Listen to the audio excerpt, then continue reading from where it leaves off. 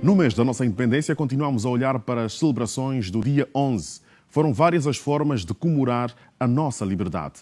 Uma delas foi o hipismo, o salto de cavalo.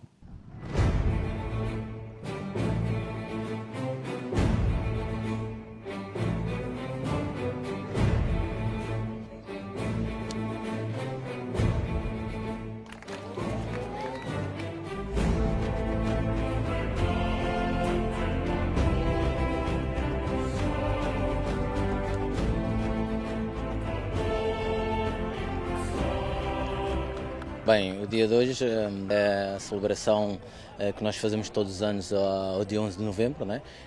Há dois anos atrás fizemos no dia 11, este ano resolvemos fazer no dia 10 por causa das pessoas, da aderência das pessoas ao evento e é uma celebração também um pouco como existe um pouco todo o país, tem uma modalidade nova no país e o que nós queremos é mesmo dar esse ênfase e as pessoas darem-se conta que existe o hipismo em Angola e que nós estamos a trabalhar para o desenvolvimento da modalidade.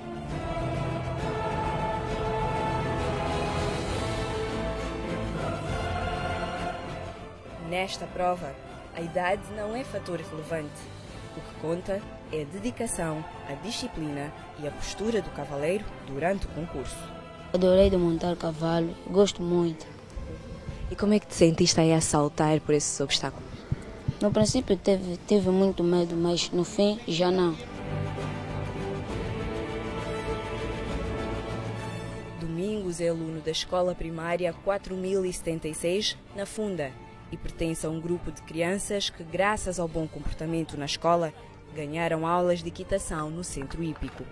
Foi um projeto em, com a ONG Amen, que escolheram os melhores alunos, isso em colaboração com a organização mesmo com a Hípica, que escolheram os melhores alunos de cada turma para poder fazer parte do, do, dos treinos aqui.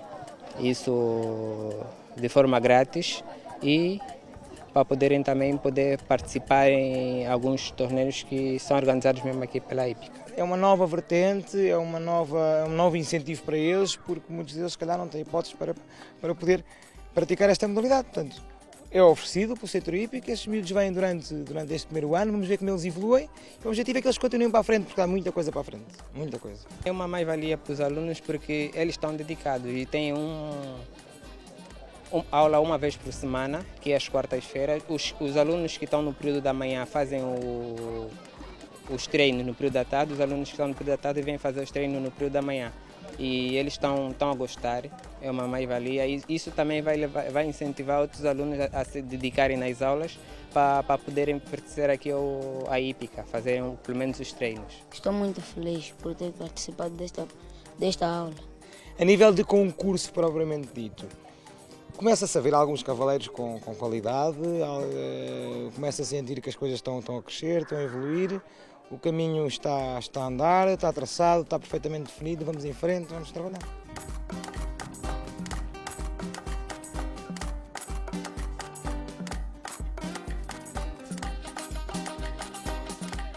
Terminada a prova de obstáculos de meio metro, as atenções viram-se todas para Ricardo Chimbundi, um dos melhores cavaleiros do centro e o único aluno que já faz saltos de obstáculos de 1,20m.